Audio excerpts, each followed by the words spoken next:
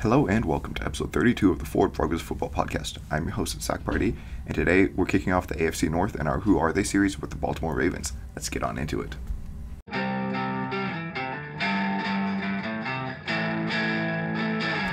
Alright, so before we get on into it, first off, uh, in case you're watching this on video, yeah, my face is a little bit swollen. I was hoping the swelling from my wisdom teeth being pulled out would be gone by now, but you know, it is what it is. Um, so that's why my face looks a bit weird today. Um, also, we're getting closer and closer to that 100 subscriber mark that I said I wanted to hit by the beginning of the season. I definitely think that we can do it. So if you're watching this, if in case you're new, go hit the subscribe button and help me reach that goal. Um, and also, in case you're new, what we do here is we go over each team position by position, breaking down the roster, and I just give you like my general thoughts about each position group. And then at the very end, I give a pessimistic and optimistic overview of what I think is possible to happen, as well as their floor and their ceiling. Um, I talk about the over under of this of each team, whether or not I think that you should place that bet, and then I talk about the biggest strength and biggest weakness of the roster. At the end of the whole series, I'm going to be doing a season prediction where I'll give my official win totals for each team, as well as a um, an awards prediction where I'll give uh, predict who wins the MVP, Defensive Rookie of the Year, Defensive Player of the Year, all that, and then a playoff prediction. All right, and without any further ado, let's get on into today's team, which is going to be the Baltimore Ravens. So, kicking things off, as always, with the quarterbacks, they have Lamar Jackson, Tyler Huntley, Brett Hundley, and Anthony Brown. So, Lamar Jackson is one of the hardest quarterbacks to evaluate because the way he plays is just so different than everyone else. On one hand, he isn't the most accurate passer and only had 300 plus yards in two of his 11 full games last year. He also got injured last year, something which many are concerned about due to his running quarterback style. However, he was an MVP in his sophomore season and has over 4,000 ground yards in about three seasons worth of games. He's the most dynamic rushing quarterback in NFL history, and the whole offense is designed around him as he has over a thousand more yards on design runs than he does on scrambles. Last year, Jackson and the Ravens were showing us that they can win in a more pass heavy offense before facing Miami and then when he got injured a few weeks later. Now, the Ravens are without Hollywood Brown, who is Jackson's most targeted receiver, even over Mark Andrews. They seem to be reinvesting in the 2019 style, a tight end heavy attack that hardly uses their wide receivers and let's see if that can bring back this 2019 Lamar that we all fell in love with. Huntley is kind of like a light version of Lamar. He's an athletic quarterback who does a decent job at avoiding turnovers. He's a perfect fit here in Baltimore, as if Lamar gets injured again, he knows the system well, now entering year three, and his skill set is close enough to Lamar where the Ravens wouldn't have to reconstruct their whole offense. He is going to be a restricted free agent by the end of the season, so I wonder if he'll get a decent contract to potentially be a starter somewhere else, or if the Ravens get to keep him as a solid backup. Hundley was taken in the fifth round out of UCLA in 2015. He's another plus athlete at the quarterback position, but didn't inspire any confidence of him being a starter when he stepped in for an injured Aaron Rodgers in 2017, completing 60% of his passes and throwing 12 interceptions to 9 touchdowns and then Brown is a UDFA from this class. So at running back, they have J.K. Dobbins, Gus Edwards, Mike Davis, Tyler Badie, Justice Hill, Nate McCrary, Rick Person, and then Patrick Ricard and Ben Mason at fullback. J.K. Dobbins looked great in limited action as a rookie, averaging 6 yards per attempt and finishing with 160 yards and two touchdowns against Cincinnati in the final game of the year. He missed last year, though, with an ACL tear, but looks set to start the season as the main back here. Dobbins' fast and powerful running style combined with the threat of Lamar Jackson next to him is going to be a crazy backfield. If everyone can stay healthy this year, I wouldn't be shocked if they didn't finish as the top rushing team and Dobbins finishes as a consensus top 10 back in the league. Edwards also missed last year with a torn ACL. He's been a consistent back for the Ravens, averaging 5.2 yards per carry through his career and getting 700 yards each season from 2018 to 2020. He should be a good complement to Dobbins as a bigger bruising back who will get the tough yardage. Davis has been a decent backup throughout the years. He's shown that he can be a lead back in 2020 when McCaffrey went down with the Panthers, and he was good as both a runner and in the passing game. But then last year, when he was signed to the Falcons to be their lead back, he couldn't step up and got far outshined by versatile weapon Cordarrelle Patterson. Badie is an undersized back taken in the sixth round this year out of Missouri. He was a good receiving back there, so I wouldn't be surprised if that was just his role here, especially early on with such a deep room. Hill can be this team's change of pace speed threat if he makes the team. He has 4-4 speed, but hasn't really done much with it so far. Um, he could have had more opportunities last year, but just like seemingly every other player on the Ravens, he got injured, missing the whole year with a torn ACL. Then McCrary went undrafted last year, but he only got one carry, losing a yard. And Person is a UDFA from this season. Ricard is a big blocking fullback. For years, he also played defensive tackle for the Ravens, but now seems to only be focusing on fullback, and is one of the best blockers in the league, but doesn't really contribute much as a runner or pass catcher. Then Mason was taken in the fifth round by the Ravens last year. He bounced around a couple practice squads before ending up back here in Baltimore, so we'll see if he can take Ricard's job or if he'll be like a backup or something this year. So for wide receivers, they have Rashod Bateman, Devin Duvernay, James Proche II, Binjimen Victor, Jalen Moore, Tylan Wallace, Devin Williams, Makai Polk, Slade Bolden, Trayvon Clark, Shemar Bridges, and Raleigh Webb. So Bateman was taken in the first round last year out of Minnesota. He missed the beginning of his rookie season and didn't really have a dominant year, but he did have one 100 yard game. He's a good athlete with 4.43 speed and great route running. With the departure of Marquise Brown, Bateman will be tasked with being this team's number one, and I'll be pretty surprised if he wasn't able to step up to it. Duvernay is a fast, undersized slot receiver taken in the third round in 2020. With Brown no longer being here, I wonder if they'll work him more on the outside and have him take that deep threat role in year three. He hasn't been overly productive so far, but this offense doesn't really feature its wide receivers much anyways, so that could be part of it. Proche was selected in the sixth round in 2020. So far, he's played mostly in the slot, but he is a reliable target, having only one drop so far, but that is also only on 23 targets. Him and Duvernay will be competing for the wide receiver two spot, and as the Ravens look to set up a really low number of three wide receiver sets, this could be a pretty big battle on to see a difference in um, snap counts. Victor and Moore both went undrafted in 2020, but neither played. And then Wallace was taken in the fourth round last year and hardly played. And then the last six of these guys are going to be undrafted free agents. There is a concerning lack of proven talent and that's just like it's just astounding how like unestablished this core is. Um, there were seven players last year who had more receiving yards in last year alone than the whole this whole team has in total career receiving yards, at least in the wide receiver room. Because to be fair, one of those seven players is on this team in tight end Mark Andrews, who just absolutely went off. And then speaking of tight ends, they have Mark Andrews, um, Nick Boyle, Charlie Kolar, Isaiah Likely, Josh Oliver, and Tony Poljan. So Andrews was the best tight end in the league last year, and he has a real shot at repeating that performance again. Taken in the third round in 2018, he's been about the fifth best tight end or so these past couple years, maybe flirting with top three. But last year, he put this team on his back and was the reason why they won multiple games. He was more reliable with his lowest number of drops, and he had 500 more yards than he had in 2019, which was Lamar's MVP season and his previous best.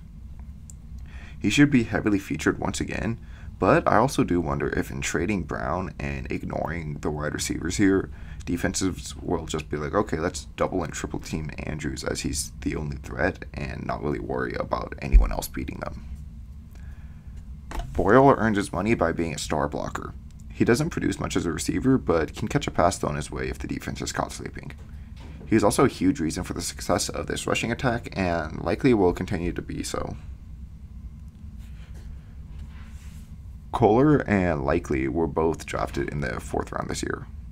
Kolar was taken out of Iowa State, where at 6'7, 250, he was a monster contested catch and ends on target. likely was taken out of Coastal Carolina. He's a smaller tight end who may need to bulk up, but he's a plus route runner and could be a nice long term complement to Kolar if that's what they're setting up. Oliver was taken in the third round in 2019 by the Jags, but hardly played there due to injuries and poor performance. He was traded for a conditional seventh round pick, but only saw a few snaps per game for Baltimore and likely won't even make the roster this year. And then Poljan went undrafted last year, but only saw a couple of snaps in one game.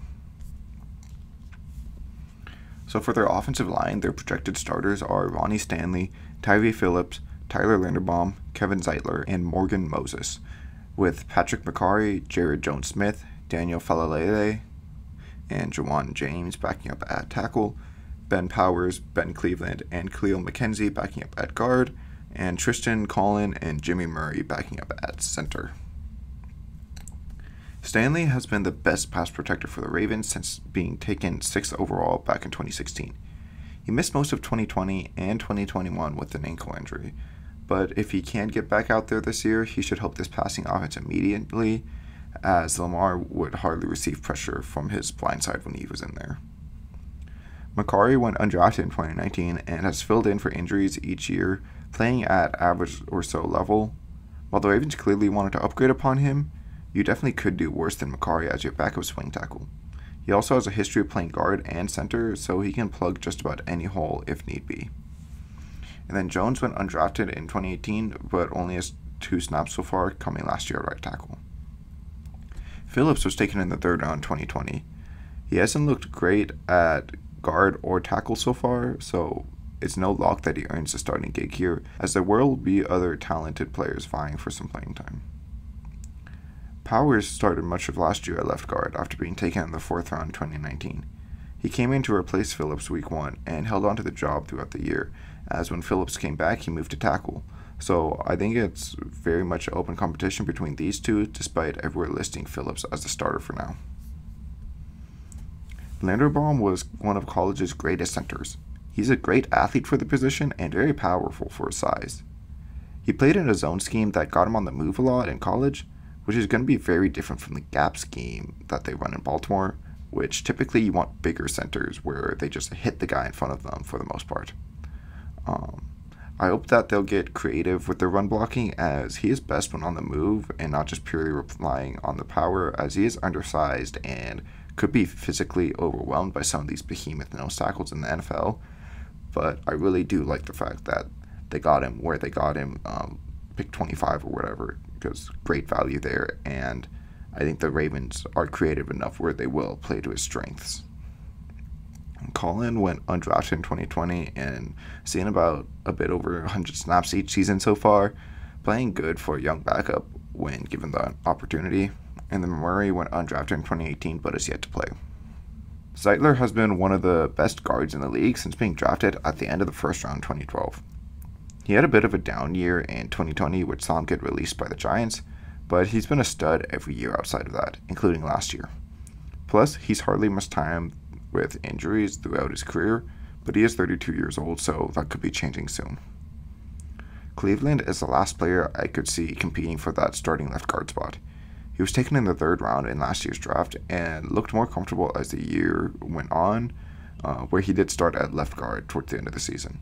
He's a plus athlete and the youngest of the guys competing, so I'm sure Baltimore would want him to win the job.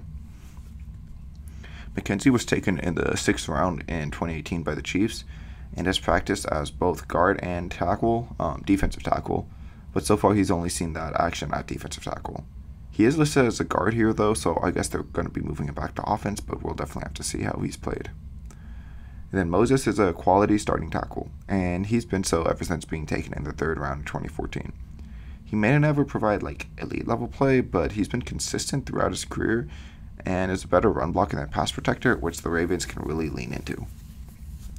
Faalele is a monster project tackle, someone who they definitely hope to replace Moses with down the line. At 6'8, 380, he was taken in the fourth round this year as a player with all the physical ability you want to see. You just need someone to coach it out of him. And there aren't many better coached teams in the league than the Ravens, so I really like Faalele's chances for success a few years down the line. James was a good tackle for Miami after being taken in the first round 2014. He then signed a monster contract with the Broncos, but only played three games with them due to injuries and then opting out of the COVID season. Now he's just hoping to stay healthy and make this Ravens roster. So for their interior defensive line, they have Calais Campbell, Michael Pierce, Justin Madubuike, Travis Jones, Brent Urban, Broderick Washington, Aaron Crawford, Isaiah Mack, and Rayshad Nichols. Campbell has been one of the best pass rushers of his generation, taken in the second round in 2008 and still being a productive player last year.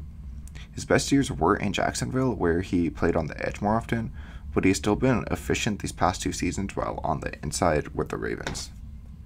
He will be turning 36 before the season starts, though, so we'll have to wait and see how much longer he can keep this up for. Pierce went undrafted in 2016 and was a great run stuffing nose tackle for them. He then signed a big deal with the Vikings, but hardly played there due to injuries and COVID. Now he's back with the Ravens, where he should see success once again. Madubuike was taken in the third round 2020 and has shown some flashes of being a good pass rushing 3 to 5 tech type, but hasn't yet put it all together. Travis Jones is a stud nose tackle prospect taken in the third round out of UConn. We'll see how often he sees the field as a rookie with Pierce ahead of him, but when he does get out there, he should be a monster against the run and have enough power to be a pocket pusher in the pass game. Urban was taken in the fourth round in 2014 by the Ravens. He spent the past couple seasons bouncing around as a backup before finding his way back to Baltimore, where he'll likely see a couple hundred snaps in the rotation, but won't be anything too special, you know. Washington was taken in the fifth round in 2020 and saw 200 snaps last year all along the defensive line he didn't do much with those snaps, only getting one sack and eight run stops, so we'll see if he can do anything more, but there will be more competition in the room this year. Crawford went undrafted in 2020 and played a bit as a rookie, but not really at all last year. And Mack went undrafted in 2019 and has bounced around the league a bit, hardly playing, and Nichols is a UDFA from this class. So for edge defenders, they have Odafe Oweh, Tyus Bowser, Justin Houston, David Ojabo, Daelin Hayes, Vince Biegel, Stephen Means, Jeremiah Moon, and Chuck Wiley. Oweh had a great rookie season as a designated pass rusher, finishing with 49 pressures and 5 sacks. I fully expect him to get more snaps this year and to have more production, as the sky's the limit with him with his physical ability. And seeing him start to put it all together just as a rookie was incredible. Um, I definitely have hope that he can do even more in year two. Bowser has been good for the Ravens, seeing his most snaps last year and capitalizing off of them. He had 40 pressures and 8 sacks while also showing the ability to drop back into coverage, confusing the defense. I love the versatility he provides, and I definitely think they can use him similarly to Za'Darius Smith, lining him up in the middle too, just to get as many good edge rushers on the field at once. Houston is getting up there in age, so I expect to see him mostly on passing downs to keep him fresh. When he is out there, though, he can still be effective, finishing last year with 40 pressures and 6 sacks. Ojabo had amazing upside, and I definitely think he can achieve it here. He tore his Achilles in the pre draft process, so the second round pick out of Michigan may not play at all as a rookie, but he has all the physical traits that you'd want out of an edge rusher. Additionally, um, the defensive coordinator at Michigan last year is now the Ravens defensive coordinator, and Oweh and Ojabo are childhood best friends. Um, the storyline just matches up perfectly. The fit's perfect here, and I just can't wait to see Ojabo get on the field and hopefully dominate.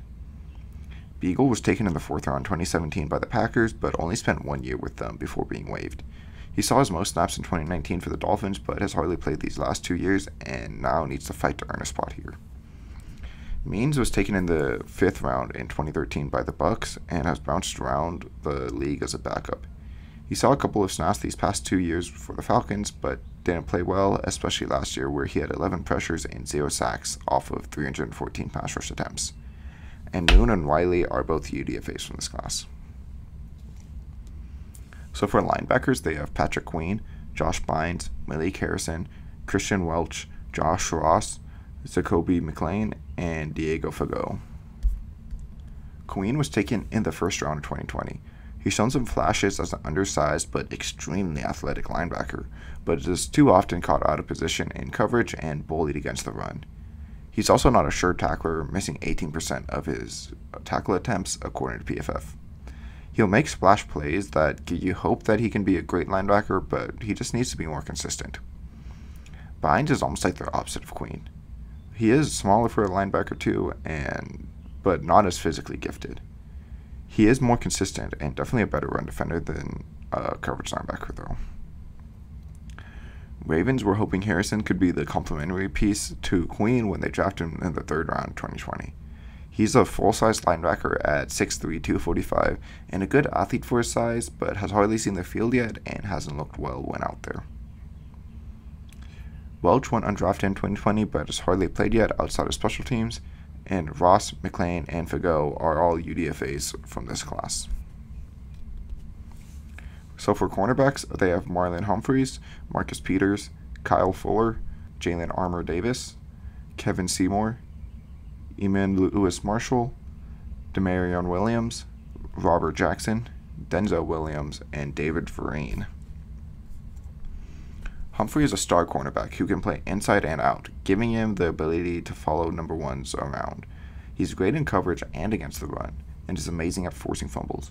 Hopefully, he, along with the rest of the team, can stay healthy this year, and they can be a great defense once again.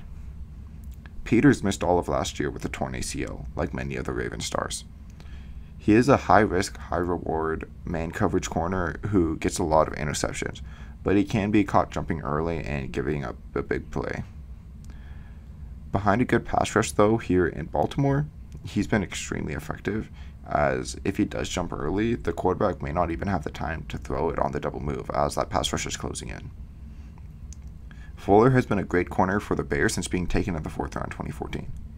However, he was surprisingly cut last season and then played poorly for the Broncos.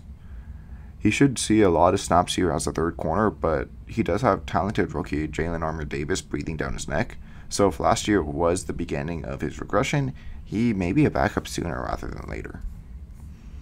Armour Davis was a lockdown corner for Alabama with sub 4-4 speed at 6 feet, 200 pounds. However, he only started his redshirt junior season due to injuries and competition ahead of him. If he can stay healthy, I believe this coaching staff could bring the best out of him in a couple of years, but that's seeming like a big if. Seymour was taken in the sixth round 2016 and has bounced around the league as a backup, he made a couple of spot starts for the Ravens last year, but didn't look great doing so. Lewis Marshall was taken in the fourth round in 2019, but has hardly played, missing the past two seasons with ACL tears and most of his rookie season with another injury, so just like tragic for him.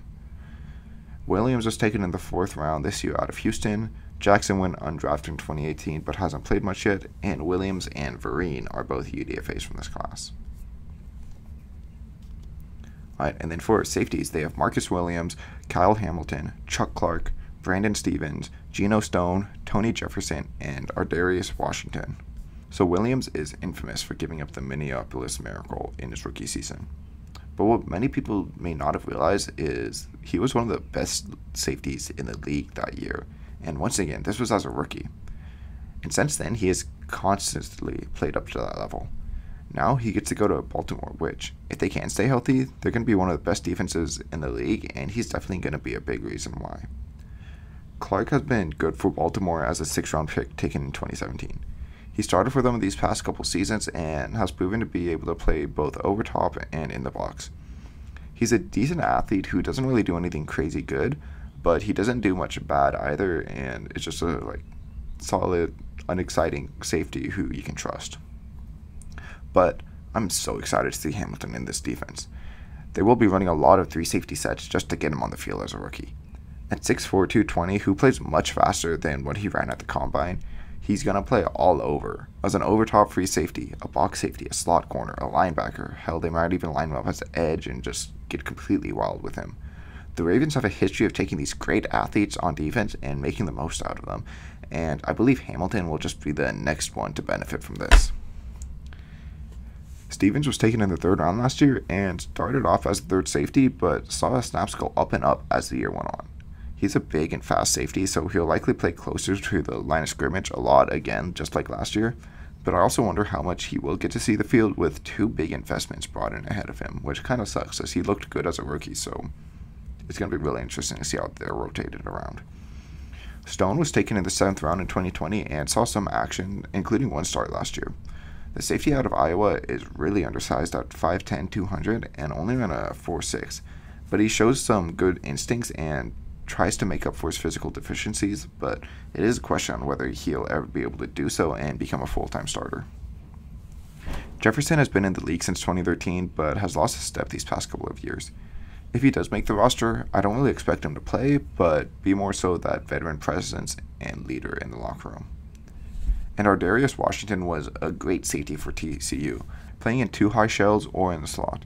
However, at 5'8, 170 with 4'6 speed, he went undrafted and barely played last year. He's kind of like a better version of Geno Stone, but with worse physical ability. If he can succeed in the NFL, it would most likely be from the slot, where he can cover up most of his physical deficiencies, but he definitely would need to add a bit more muscle because defenses ask a lot of run support out of their nickelbacks. And for special teams, they have Justin Tucker at kicker, Jordan Stout at punter, and Nick Moore at long snapper. Um, probably the best unit in the league, not going to lie. This is nasty. Tucker, he is the best kicker in the league. Maybe ever. He's made 91.1% of his field goals throughout his career, and last year broke the record for the longest kick with that crazy 66 yarder against Detroit to win the game.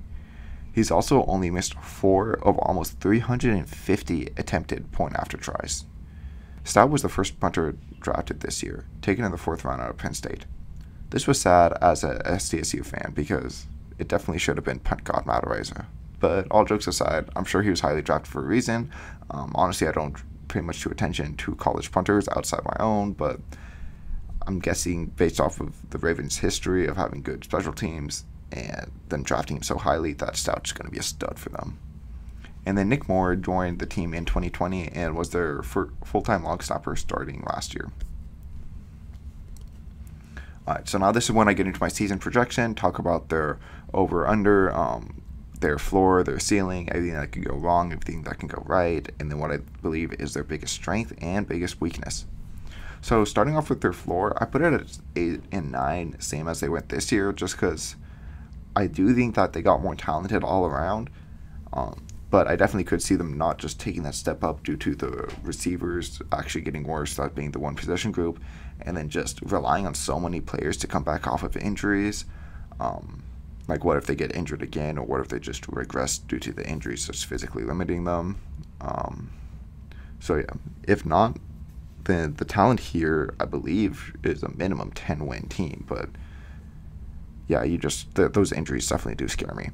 But outside of injuries, some other things that can go wrong include Lamar failing to be the a top thrower of the football, especially with the lack of weapons he has to throw to. Like he's going to be a stud running it. We all know that, but he still needs to prove that he is a top thrower of the football. These running backs, they might not be as explosive coming off their injuries, um, Bateman doesn't look like a number one in year two. It's definitely possible. And none of these receivers could crack 800 yards. That wouldn't surprise me, especially if Bateman. Like, Bateman is the one guy who I think can. Um, everyone else, I don't think will. And if Bateman doesn't, then that's just like, damn. Um, Andrews, he could struggle with drops and being clutch, which has plagued him in the past. And then the rest of the rookies there, they can't step in and be dominant day one. This O line, I think, should be fine outside of left guard, unless they struggle with injuries. And then rookie Tyler Linderbaum, he might get overwhelmed as a smaller center. This interior defensive line is reliant on the play of older players and Campbell and Pierce, who definitely could regress or get injured. And then it's also then would be reliant on younger guys who need to step it up. Their edge rushers have a lot of potential, but none of them did have over 50 pressures last season, and it is possible that none of them can become that true number one this year these linebackers could struggle with Queen firing around like a loose cannon and Bynes looking older out there. And then the secondary, it, I think they should be good, barring injuries, but they did have a lot of those last year, so we'll have to wait and see. Then, optimistically, um, I definitely could see this team going on a run and repeating their 2019 success and being the number one seed in the AFC, finishing with a 14 and 3 record. Uh, that is their ceiling. Like, that would be I still would be a bit shocked to see them get there, but it would be like, okay, that's like, yeah, definitely realistic. Especially seeing that they finished with the last place schedule last year. Um, and this team is just so different than any other team. I could definitely see them winning any game in any week, especially if this offense is looking to recreate its 2019 tight end focused attack. If they can do that and get Lamar back to MVP level, this is going to be one of the best teams in the league.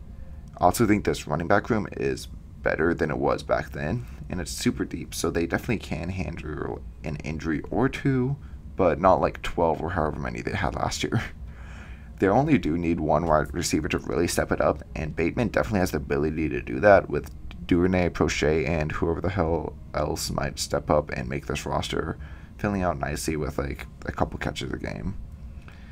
If Andrews can repeat last year, we need to talk about him as the best tight end in the league, and Boyle already might be the best blocking tight end.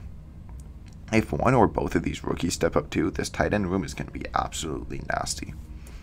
If this offensive line can't stay healthy, it should be more than good enough to execute this run heavy attack that Baltimore loves. On defense, it's all about staying healthy and getting a couple of the younger guys to step up. If Campbell and Pierce can still produce, and then the youth on the inside can rotate nicely, I don't really worry about this group at all. I think Odafe Oweh can have a monster year and enter the All Pro conversation potentially, and this edge group could get a nice rotation going, especially if Ojabo can come in in the back end of this year. Hopefully, Queen is able to rein it in a bit more and be a bit more consistent, and then these corners could be the best in the league as long as they stay healthy and Fuller can regain his bare form. And the same could be said of the safety room, especially if Hamilton hits the ground running. So looking at this over under, um, I just can't believe it's only nine and a half. Like, I feel like that is taking into account all the injuries that potentially could happen here. Because the AFC North it definitely is a bloodbath typically, but I could see them winning three to five games here due to the Steelers not looking too hot, and it also is depending on the whole Watson suspension with the Browns. They also start the season with the AFC East, like all four games to start off the season is that, which I saw that I was like, what? Um, but I definitely could see them winning two, even three games there. Um, they play the NFC South too, which I see as another two to three wins. Um, and then their last place schedule gives them the Giants, Jags, and Broncos, which Giants and Jags, I would be very shocked if they don't beat, and Broncos, I definitely see them having the possibility to beat. Uh, if they can't stay healthy, I'd be extremely surprised if they go under the nine and a half. And then their biggest strength I put as their secondary. I really hope that this secondary stays healthy and we get to see it at full force. It's just so well constructed with a true number one corner who can play anywhere and Humphrey and possibly the best complementary corner due to his turnover production, Peters, and then a cheap veteran coming in off a down year, but someone who has shown immense upside in Fuller. Add that to a great safety trio with Williams being one of the best center fielders in the league, Clark being nothing special maybe, but overall solid, nothing to complain about, and then Hamilton being one of the greatest collegiate safeties we've ever seen. And then adding in some of the younger guys like Armour Davis, Stephens, Stone, like this. Oh, I love the way the secondary looks, and it could definitely has the chance on them or Green Bay look like the best in the league. And similarly to Green Bay, their biggest weakness is their receivers if this team gets in the shootout, I don't know if they have the firepower to keep up. Lamar hasn't proven to, to be able to win purely through the passing game, and these receivers are worse than he's ever had in the past, so there's no reason where he suddenly should show that ability.